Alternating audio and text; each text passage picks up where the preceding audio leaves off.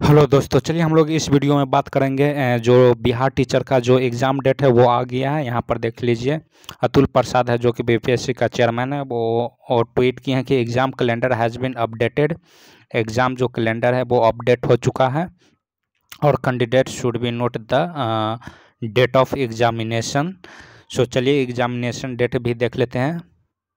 चलिए, ये है बीपीएससी का बिहार पब्लिक सर्विस कमीशन और क्या क्या मतलब बीपीएससी जो जो एग्ज़ाम कंडक्ट करवाती है, वो सभी का एग्ज़ाम डेट दे, दिया हुआ है। यहाँ पर पहला नंबर पर देखिए असिस्टेंट जो भी है असिस्टेंट ऑडिट ऑफिसर है असिस्टेंट डायरेक्टर कम है, ये सभी का आपका यहाँ पर डेट दिया है। मेंस पीटी और इंटरव्यू उस सभी का दिया है।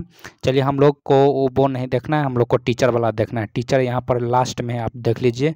टीचर रिक्रूटमेंट एग्ज़ाम 2023 लास्ट में दिया हुआ है। और टोटल जो वैकेंसी यहाँ पर दिखाया गया है, एक लाख सत्तर हज़ार चार सौ इकसठ दिखाया गया है। और जो एग्ज़ाम डेट बताया गया है, यहाँ पर देख लीजिए एग्ज़ाम डेट है। एग्ज़ाम डेट बताया गया है उन्नीस, बीस उन्नीस अगस्त को बताया गया है, बीस अगस्त को बताया गया है, छब्बीस अगस्त को और सत्ताईस अगस्त को।